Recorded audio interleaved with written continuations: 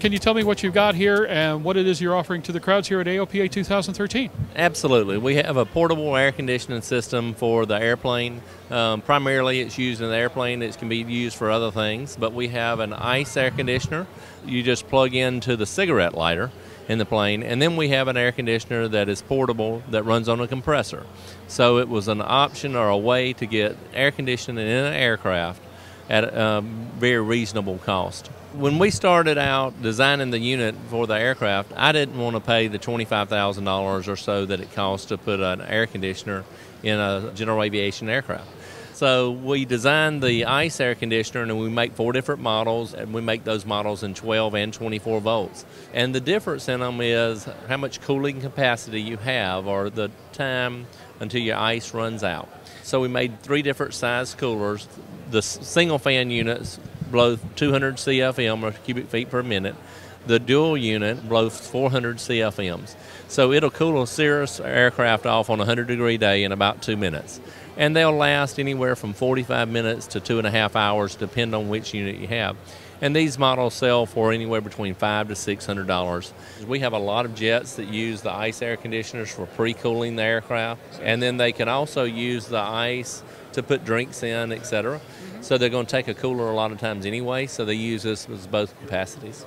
Then we did what we call a real AC unit, and it's still a portable electronic device for the aircraft, so you don't need any STC approvals for the unit. Both of these units we make in 12 and 24 volt units.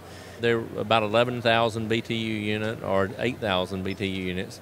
And we can control the amp draw. They usually draw about 30, 35 amps, but we can control those with a smart controller so that you can run it on 15 to 17 amps if you need to.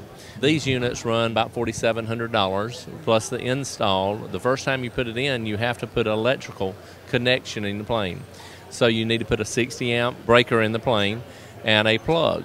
So for that, some people will get a DER to sign off on it and doing 337. Others say that it's not a major change to the aircraft. Depending on what size alternator you have, uh, we recommend a 100 amp alternator. And um, with m- most planes, that's sufficient. We've had people run them on 75 amp alternators. These units are absolutely, you get in the plane, turn it on, it works just like a regular aircraft air conditioner. You have to vent the hot air and you have to put a plug in the plane. So we tell people that may take two days on the first time of the install. The nice thing is you can take it out if you have too many people going or have too much luggage, you can take it out. So we find that a lot of people will take it out of the plane, you know, maybe 25, 30% of the time, and the others, you know, 75% of the time they'll fly with it during the hot months. Or during the winter, they can just take it out to save the weight. What are the weights of the respective units? real ACs are about 50 pounds, and then the ice air conditioners anywhere from 30 to 50 pounds, depending on which unit and how much ice you put in it. Where can somebody get more information and find these things? They can look at our website, arcticaircooler.com. Thanks so much. Appreciate your time. Thank you.